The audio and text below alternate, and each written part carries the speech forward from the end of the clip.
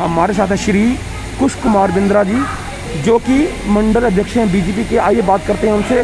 Function हो रहा है कौशल Goyal hospital and urology centre का सुपर स्पेशलिटी विंग का उद्घाटन। सर बताएँ जरा इसके बारे में। सर बहुत हर्ष का विषय है कि जमुना पार्क के अंदर सारी फैसिलिटी एक ही छत के नीचे जो है मिलने जा रही है। इसमें जो मैं डॉक्टर नील गोयल को बहुत बहुत जो है साधुवाद करता हूँ।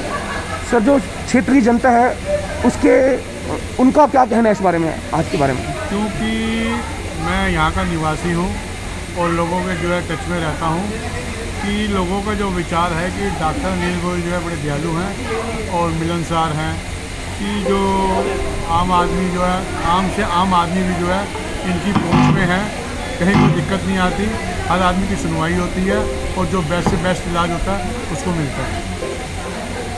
सर, जो हमारे व्यूअर्स हैं, उसके लिए क्या संदेश देना चाहेंगे?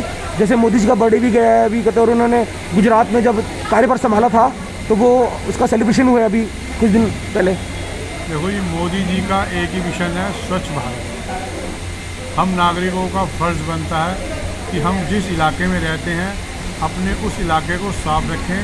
कोई भी व्यक्ति अगर गंदगी करता है, उसको टोकें देश साफ़ रहेगा, बढ़िया रहेगा। सर हमारे दर्शकों से बात करने के लिए आपका बहुत बहुत धन्यवाद।